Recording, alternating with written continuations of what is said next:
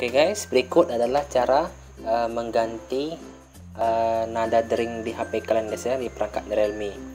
Nah, contohnya begini guys ya, kalian buka pengaturan, kemudian kalian scroll ke bawah, kalian cari suara dan getaran. Nah, kemudian kalian juga cari nah ini nada dering guys ya. Kalian tekan aja, misalnya kalian menggunakan uh, dua SIM ataupun satu SIM. Misalnya kita mencontohkan kita kan menggunakan dua SIM misalnya untuk di SIM satu nada deringnya seperti ini guys ya. Nah ini sangat banyak pilihannya. Tinggal kalian sesuaikan aja kalian mau menggunakan yang mana. Kalian juga bisa menggunakan nada dering kostum guys ya. Bisa dari galeri kalian. Nah ini dari musik kalian. Tinggal pilih aja mana yang mau kalian jadikan nada dering panggilan masuknya guys jika ada yang mau ditanyakan komen di bawah ya.